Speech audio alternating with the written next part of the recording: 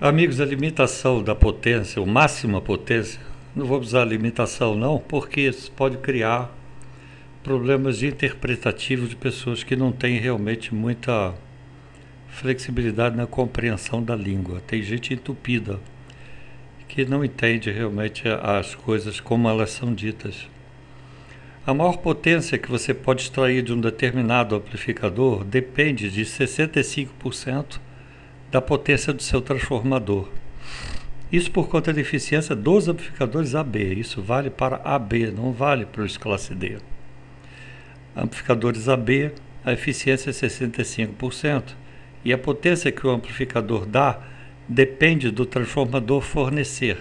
O amplificador não cria potência, não tem potência macho que faz sexo com potência filho e que cria um monte de filhotes de potência. O amplificador sozinho não dá potência. A potência vem em última instância da rede, primeira instância da rede, em última instância do transformador, que vai fazer a transformação do nível de tensão de 110, 220 para a tensão mais baixa de trabalho que você vai usar.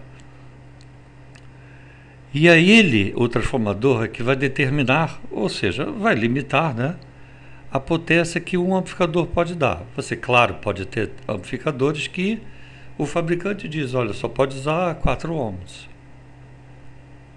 Aí uma pessoa vai dizer assim, ah, pô, o transformador não limita, é o, é o transformador, é o transistor. É claro, sempre a máxima potência será do transformador, mas é claro, se botarem os transistores vagabundos, eles vão especificar que não pode funcionar abaixo de 4 ohms, até mesmo quando o transformador tem uma reserva de potência, ou seja, ele, o transformador, poderá produzir, poderá fornecer energia capaz de excitar o amplificador para trabalhar para 2 ohms.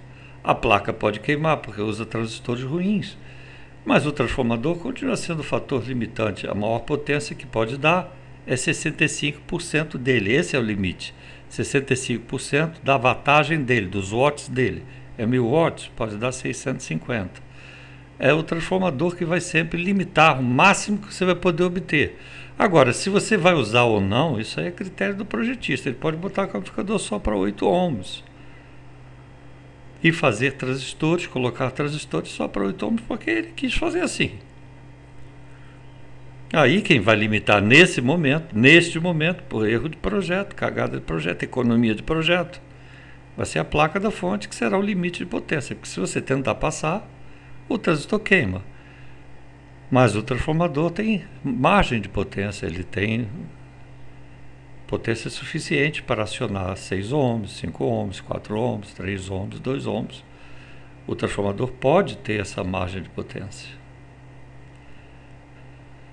ele sempre, determinará 65% da potência do tráfego é o que determinará a máxima saída que você vai ter. Agora, essa máxima saída vai depender do circuito de potência que você for usar, se ele aguentar ou não, e do volume, em última instância, que você girar o botão. Antes, se não, bota o botão aqui no meio, não está dando a máxima. Então, porra, Pô, tem uns caras que tem um raciocínio que, pelo amor de Deus, ó, a cabeça deles é boa para pentear cabelo máxima potência é proveniente do transformador. Não existe mágica. A placa amplificadora não faz sexo, não produz potência, não.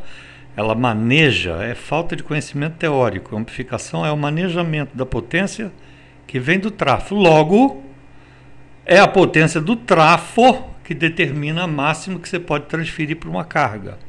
Ah, mas pô, aqui o amplificador aqui é 4 ohms, ele aguenta até 2 quem está limitando aqui é, é, é, a placa de potência. Porra, o transformador continua sendo fator limitante. O fato de terem feito a cagada de colocar uma, transistor que só aguenta 4 ohms é outro problema. O transformador continua sendo fator de limitação de potência a 65% da potência dele, transformador.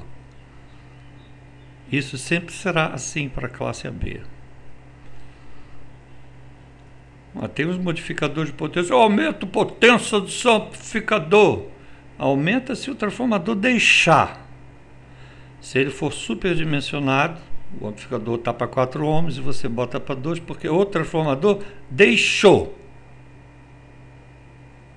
Só por isso, entendeu? Quem limita é o transformador, a corrente dos retificadores e para você ter um som limpo, a quantidade de filtros e microfarads do, da, da fonte.